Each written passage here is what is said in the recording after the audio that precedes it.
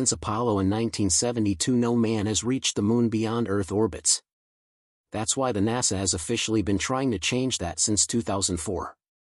When President George W. Bush announced what became the agency's Back to the Moon Constellation program in 2010. The Obama administration canceled Constellation but two key pieces of the program survived the Orion crew capsule and a rocket that became what is now the Space Launch System or the SLS. Both vehicles are being developed using classic cost-plus contracting.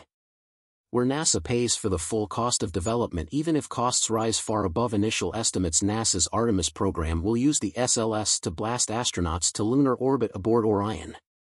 Where they will meet up with a previously in-placed lunar lander to travel to the surface and back it's worth noting then that rather than building a lunar lander in-house the way it does with the SLS and Orion, NASA opted to pay space companies a fixed price to build their own lunar landers which the companies will own with little funds to go on and the prospect of seeing the moon landings drag out for many more years.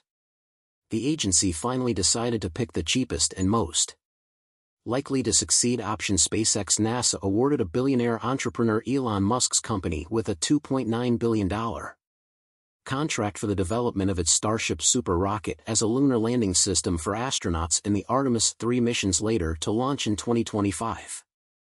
Unfortunately the path back to the moon is long and fraught with danger both in the real physical sense and also in the contractual legal sense indeed legal battles between NASA SpaceX and Blue Origin have delayed the development of a critical component of the Artemis program the human landing system for months that is until last November when the court finally ruled in favor of NASA and SpaceX that the ball has started to roll again SpaceX has actively worked on the lunar optimized Starship development at its Starbase facility located in Boca Chica Village, Texas. NASA released in March a document that features photos of the SpaceX Starship lunar lander elevator and airlock prototype. SpaceX says it is working with NASA to ensure crew safety and performance. The elevator will be used to bring astronauts down to the lunar surface. The document is a set of presentation slides with images of Artemis astronauts checking out the elevator and airlock including an image labeled Crew Cabin VR Evaluation. It's probably a virtual reality video simulator of how the Starship cabin interior will look like and operate. SpaceX's Starship is designed to be much more than a lunar lander it's actually an end-to-end transport system designed to ferry people to Mars the vehicle launches and lands upright similar to the way. The company's Falcon 9 boosters return to Earth for reuse SpaceX has been working on Starship for years building prototypes and destroying them at a rapid pace as they perfect. The vehicle ability to land upright not only was it impressed with the way it landed, but NASA scientists with its massive payload as part of its Artemis program to return humans to the moon this decade NASA has a minimum requirement that its human landing. System must be able to deliver 865 kilograms to the lunar surface. This is based on the mass of two crew members and their equipment needed for a short stay. NASA wants to maximize the performance that Starship offers on lunar landings with the potential to carry large payloads while the original HLS competition had a requirement to carry only 100 kilograms of cargo to the surface and back. In addition to two astronauts said Logan Kennedy HLS surface lead at NASA the later sustained missions will increase that to 182 kilograms to the surface and 160 kilos back with a goal of 1000 kilos down and back we're going to leverage all that we can on this mission to try and take up and down as much as we can using the size of their system Lisa Watson Morgan manager of the Human Landing System program in a presentation at the annual meeting of NASA's Lunar Exploration Analysis Group.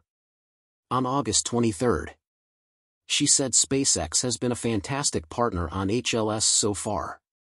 With close cooperation between the company and the agency SpaceX has been involved in the Artemis 3 landing site selection process to ensure potential landing regions are compatible with Starship.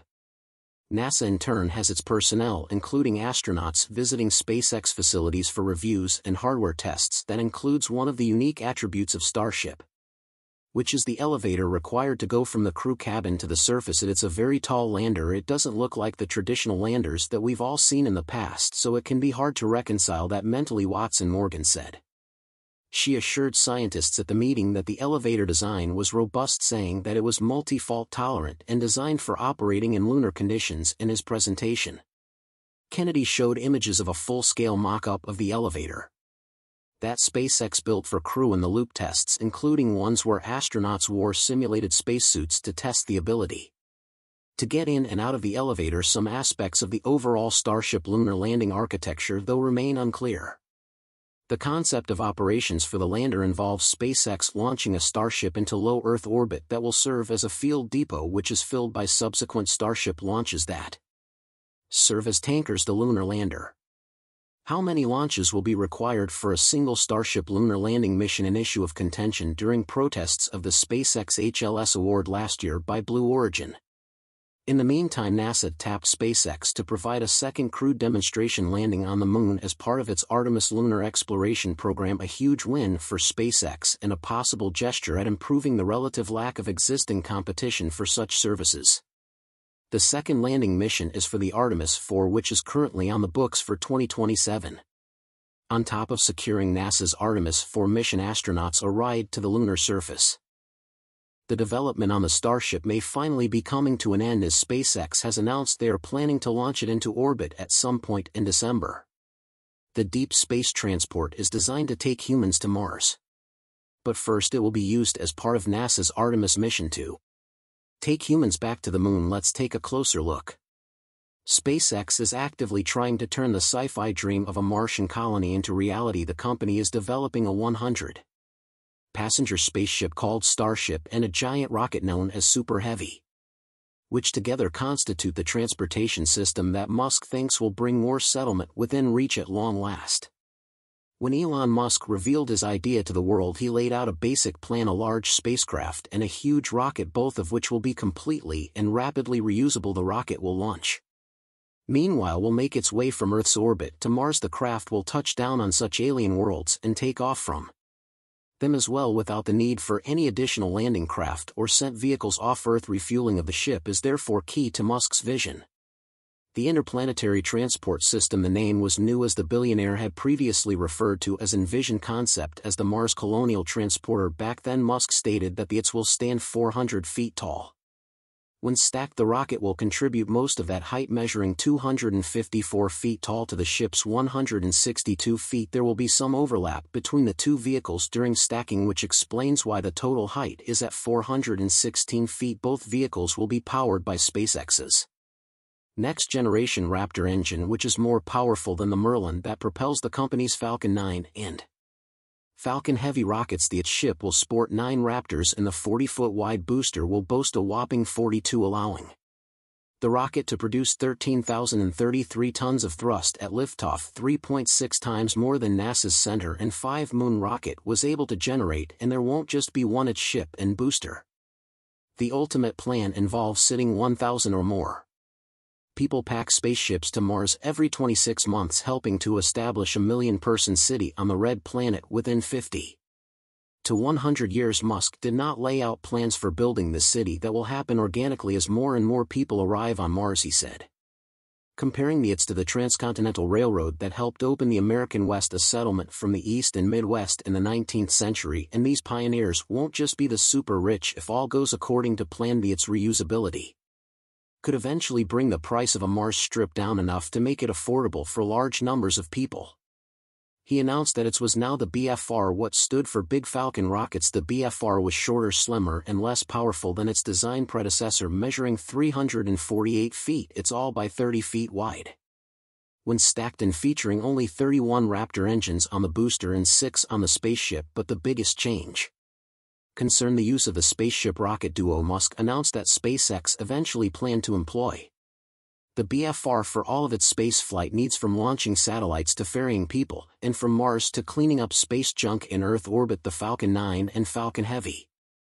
Therefore will be phased out over the long haul as will both the crew and cargo variants of SpaceX's Dragon capsule Musk stated that expanding the BFR's role in this manner will make the system much more affordable for SpaceX to develop and manufacture the BFR design then experienced a growth spurt that nearly took the system back to its original height in September 2018. Elon Musk told us that the rocket spaceship duo will now stand 387 feet tall when stacked. The BFR ship will also sport 7 Raptors instead of 6 and the vehicle announced sport 4 movable fins 2 near its nose and 2 bigger ones near the tail. These fins will help the shipment maneuver its way to safe landings on worlds with significant atmospheres such as Mars and Earth. The two rear fins will also serve as landing pads as will a leg that's stylized to look like a fin. Two months later the BFR was no more. Musk told us that the system will now be called Starship that will also be the spaceships. The huge rocket will be called Super Heavy at that point. SpaceX still planned to build the Starship vehicle out of carbon fiber.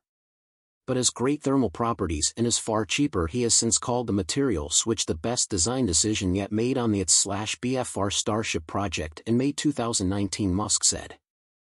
The current plan calls for six Raptors on the Starship vehicle rather than seven and a few months later he tweeted that Super Heavy will now sport 35 Raptors instead of 31.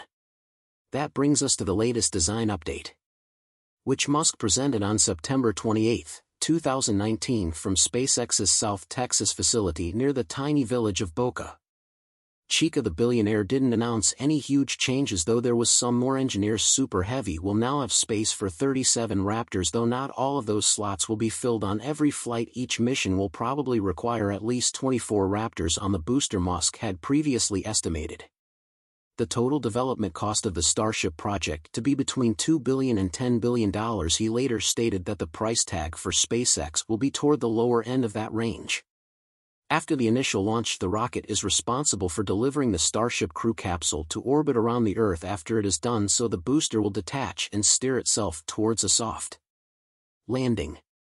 Back at the launch pad while this feat seemed almost impossible at first SpaceX rockets have been doing it successfully for several years.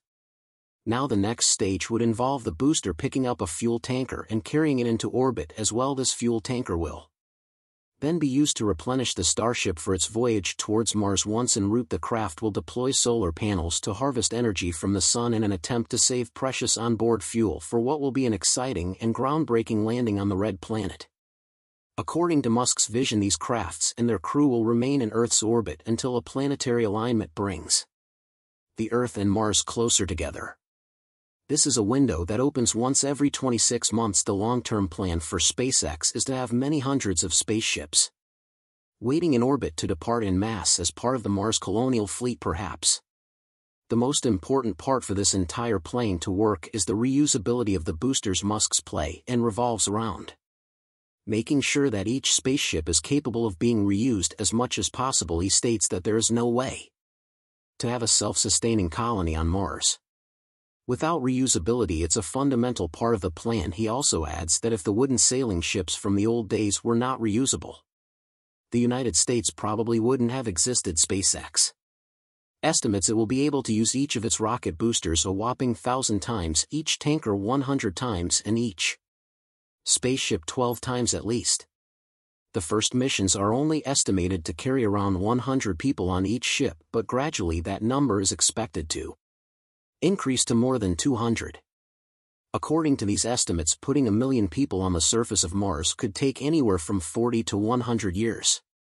After the maiden voyage the reusability of the rockets also means that once they're the crafts can then be used to return to Earth whenever needed after a few uncrewed cargo supply missions have already landed on Mars the human face of colonization will be finally ready to begin one of the biggest hurdles that stand in the way is the red planet's notoriously thin atmosphere. NASA had to be extra careful when landing their Curiosity rover on the planets which weighed a mere 2,000 pounds and is a tiny fraction of the total payload that the manned missions will carry. This is one of the reasons why SpaceX continues to perfect its supersonic retro rocket technology so they can gradually enter the Martian atmosphere and lower a very heavy spacecraft onto the surface using this reusable method that's not although entering the atmosphere is another problem that needs attention. The craft needs to withstand a heated entry into the planet and perform a propulsive landing. The first few journeys would probably just drop off supplies and set up a propellant depot on the planet so return trips are possible when needed after the supply runs are complete. Humans can finally make their way to Mars the first crew will need to rely on the digging beneath the surface and dredging up varied ice this will be used as a water source. which will eventually power the entire colony when the essential crews consisting of scientists and engineers have finally set up competition will start over. The first few seats it can take willing individuals to the newly colonized planet reports from NASA suggest that the massive Starship vehicle could launch on its first ever orbital test flight in December.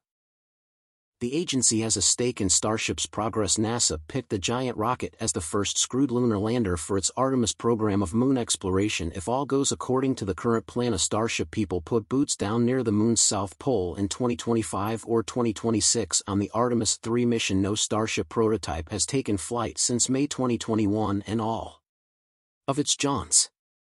So SpaceX's desire to fly an orbital mission with Starship prompted a lengthy environmental review by the U.S. Federal Aviation Administration and there are still several things to finish up that FAA review called a Programmatic Environmental Assessment examined. Starship activities at Starbase SpaceX's facility near the city of Brownsville in South Texas. The FAA concluded the assessment in June following numerous delays from late 2021 due to the need to consult with other agencies and deal with public comments, the FAA said. This summer that SpaceX needs to take 75 actions to reduce its environmental impact on the area despite SpaceX. Founder Elon Musk saying several times a Starship would be ready to go orbital soon Musk recently said the target was November it seems that SpaceX hasn't quite finished with those FAA action items the coming mission aims to have to prototype 165-foot-tall Starship vehicle into orbit atop a super heavy booster that has a height of 230 feet the stacked hardware is the tallest rocket system ever. SpaceX has already conducted several static fire tests in 2022 to get Starship ready for the approximately 90-minute mission that if successful would see the spacecraft splashdown off. However SpaceX's human landing system contract with NASA requires several successful spaceflight tests before Starship will be authorized to put astronauts on the moon. NASA is also seeking a second vendor for crewed Artemis landing missions but more options won't be ready until Artemis 5 at the earliest putting. SpaceX in line for landings on Artemis 3 and Artemis 4 in about 2025 and 2027 depending on how earlier missions go. The additional contract also known as Option will also allow SpaceX and NASA to pursue and demonstrate upgrades that will make Starship an even more capable and cost-effective moon lander for the long term the modification is likely to embark in the coming year. Thank you so much for watching